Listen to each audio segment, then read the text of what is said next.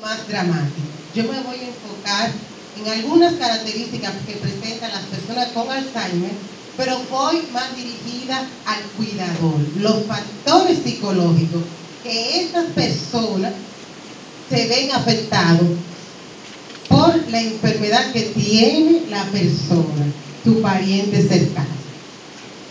Desde los cambios psicológicos que se originan en la personalidad y la conducta relacionada con la enfermedad del Alzheimer, son muchos los cambios. Y hay que hacer notar que el Alzheimer provoca que las células del cerebro vayan muriendo. Pero es una muerte silenciosa. Es una muerte, digamos, este, que se va comiendo al individuo, pero de una manera, digamos, muy, pero muy suave, muy lenta. La persona al principio está dando ni cuenta de lo que está pasando. En el Alzheimer hay muchos factores que pueden incidir. Tanto es la herencia, la cultura, la posición de la persona, eh, también su capacidad intelectual, los ejercicios que hace, la alimentación. Pero ¿y por qué cuando hablamos de cultura hay más probabilidad de tener, digamos, el Alzheimer? Para el Alzheimer no hay edad, para el Alzheimer no hay raza. Todos podemos tener un familiar con Alzheimer sin importar su condición económica tampoco. Pero ¿qué va a provocar el Alzheimer? El, el Alzheimer va a ir degenerando poco a poco la calidad de vida de la persona.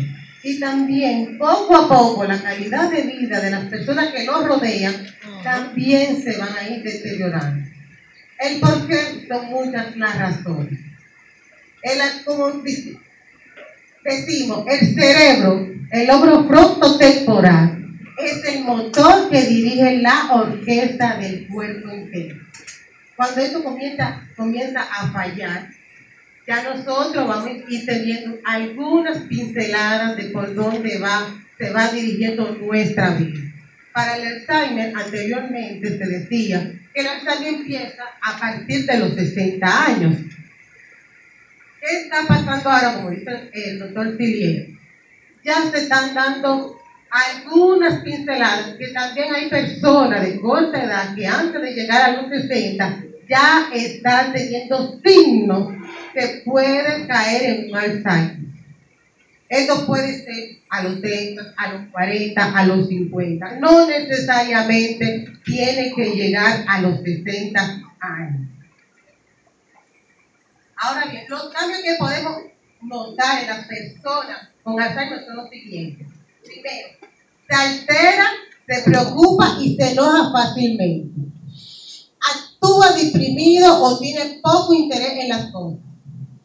Esconde cosas o cree que otras personas le, esconden las cosas. Se imagina cosas que no están ahí. Tiende a deambular y salir de su hogar. Camina